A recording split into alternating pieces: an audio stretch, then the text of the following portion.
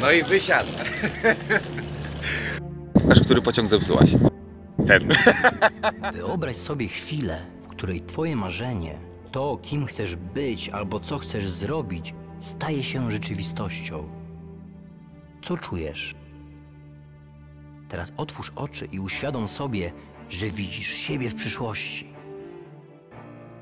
Rzeczy, które podziwiasz, nie zostały stworzone przez ludzi lepszych od ciebie. Stworzyli je ludzie, którym chciało się pracować nad swoim marzeniem. Tacy, którzy wyobrazili sobie siebie w przyszłości i bardzo spodobało im się to, co widzieli. Jeżeli zrobiło tak miliony ludzi, dlaczego ty nie możesz tak zrobić? Przecież możesz zobaczyć siebie w przyszłości tak samo jak oni.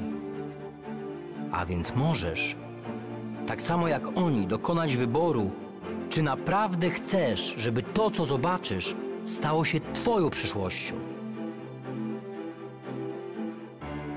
Są takie marzenia, których nie mamy odwagi nawet wyszeptać.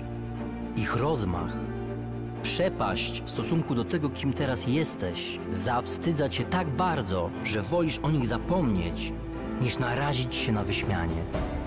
Proszę cię, nie rób tego, bo dopiero wtedy zaczniesz naprawdę przegrywać. Nieważne, kim jesteś i ile masz lat. Kiedy przestajesz spoglądać w dal, twoje marzenia zaczynają umierać. Prawdziwe przeszkody istnieją tylko w twojej głowie. Z nikim nigdy nie będziesz rywalizować bardziej niż ze sobą.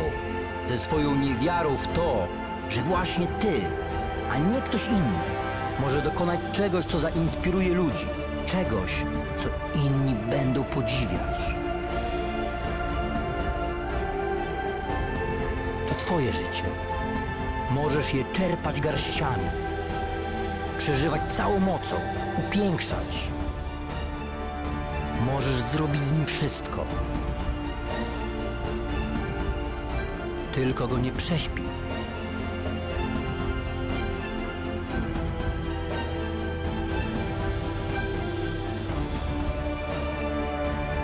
Jeszcze raz wyobraź sobie chwilę, w której Twoje marzenie staje się rzeczywistością.